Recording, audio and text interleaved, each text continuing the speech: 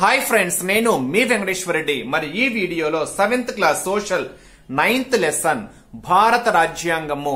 మరి ఈ లెసన్లో ఉండేటువంటి సబ్ టాపిక్ భారత రాజ్యాంగ ప్రవేశిక భారత రాజ్యాంగ పీఠిక. మరి దాంట్లో ఉండేటువంటి పదాలు వాటి యొక్క నిర్వచనాలు ఏంటి అనేది మనం ఈ వీడియోలో చూద్దాం. భారత రాజ్యాంగ ప్రవేశిక. First one సర్వసత్తాక. మరి ఇక్కడ సర్వసత్తాక అంటే అర్థం ఏంటి అంటే బాహ్య మరియు అంతర్గత విషయాలపై నిర్ణయాలు తీసుకునే పూర్తి అధికారము అని. సర్వసత్తాక అంటే అర్థం ఏంటి ఇక్కడ? బాహ్య అంతర్గత విషయాలపై నిర్ణయాలు తీసుకునే పూర్తి అధికారాన్ని మనం ఏమంటాము అంటే సర్వసత్తాక అంటాం. నెక్స్ట్ సామ్యవాదం. మరి సామ్యవాదం అంటే అర్థం ఏంటి అంటే సమాజంలో సామాజిక ఆర్థిక మరియు రాజకీయ అసమానతలు తగ్గించడం ద్వారా సామాజిక న్యాయం అందించబడుతుంది అని తెలియజేసేదే మనకేమవుతుంది అంటే సామ్యవాదం. మరోసారి చూడండి. సమాజంలో సామాజిక ఆర్థిక మరియు రాజకీయ అసమానతలు తగ్గించడం ద్వారా సామాజిక న్యాయం అందించబడుతుంది అని తెలియజేసేదే మనకేమవుతుంది ఫ్రెండ్స్ ఇక్కడ? సామ్యవాదం.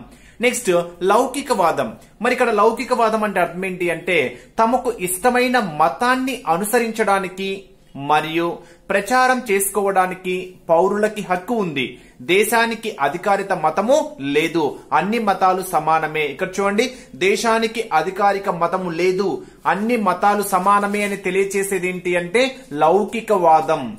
నెక్స్ట్ ప్రజాస్వామ్యం అంటే ఏంటి అంటే ప్రజలచే ఎన్నుకోబడిన ప్రజా ప్రతినిధులచే ప్రభుత్వం అనేది నడపబడుతుంది. ప్రజలచే ఎన్నుకోబడిన ప్రజా ప్రతినిధులచే ప్రభుత్వం నడపబడుతుంది అనేది మనకేమవుతుంది? ప్రజాస్వామ్యము. నెక్స్ట్ గణతంత్ర వ్యవస్థ అంటే అర్థం ఏంటి అంటే దేశాధిపతి ఎన్నికల ద్వారా ఎన్నుకోబడతారు. గణతంత్ర వ్యవస్థ అంటే అర్థం ఏంటి ఫ్రెండ్స్ ఇక్కడ? దేశాధిపతి దేని ద్వారా ఎన్నుకోబడతాడు? ఎన్నికల ద్వారా ఎన్నుకోబడతాడు. నెక్స్ట్ న్యాయం. కులం మతం మరియు లింగం ఆధారంగా పౌరుల పట్ల విపక్ష చూపరాదు. సామాజిక అసమానతను తగ్గించాలి. ప్రభుత్వం అందరి సంక్షేమం కోసం ముఖ్యంగా వెనుకబడిన వర్గాల వారి సంక్షేమం కోసము పనిచేయాలి అని తెలియజేసేదే మనకేంటి ఇక్కడ? న్యాయం. నెక్స్ట్ స్వేచ్ఛ. అందరికీ స్వాతంత్రం అని అర్థం. ఇక్కడ స్వేచ్ఛ అంటే అర్థం ఏంటి అందరికీ స్వాతంత్రం అని అర్థం. పౌరుల ఆలోచనలు వ్యక్తపరిచే అభిప్రాయాలు వాటిని అమలు పరిచే కార్యాచరణల విషయంలో ఎటువంటి అసమంజసమైన ఆంక్షలు ఉండవు. అంటే స్వేచ్ఛ అంటే అర్థం ఏంటి అందరికీ స్వాతంత్రం అనేటువంటి అర్థాన్ని మనం ఇక్కడ చెప్పుకోవచ్చు.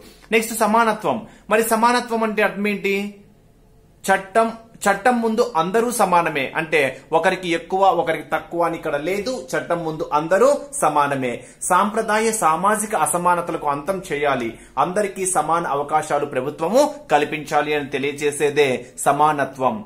నెక్స్ట్ సౌభ్రాతృత్వం. చాలా ఇంపార్టెంట్ ఫ్రెండ్స్ ఇది. సౌభ్రాతృత్వం అంటే అర్థం ఏంటి అంటే సోదర భావం అనేటువంటి అర్థాన్ని మనం ఇక్కడ చెప్పుకోవచ్చు. ఇది ప్రజలందరి మధ్య ఐక్యత సమగ్రత మరియు విధేయతను ప్రోత్సహిస్తుంది. చూడండి ఇక్కడ. ప్రజలందరి మధ్య ఐక్యత సమై సమగ్రత మరియు విధేయతను ప్రోత్సహించేదే మనకేమవుతుంది? సౌభ్రాతృత్వం. అంటే అర్థం ఏంటి? సోదర భావం అనేటువంటి అర్థాన్ని మనం ఇక్కడ చెప్పుకోవచ్చు. నెక్స్ట్ మనకు కనిపించేటువంటి ఇమేజే భారత రాజ్యాంగ పీఠిక. మరి టెక్స్ట్ బుక్లో క్లియర్గా ఇచ్చాడు. మరి అక్కడ ఇచ్చినటువంటి భారత రాజ్యాంగ పీఠికలో ప్రవేశికలో ఉన్నటువంటి కొన్ని ముఖ్యమైన పదాల యొక్క అర్థాలు మనం ఇప్పుడు చెప్పుకోవడం అనేది జరిగింది.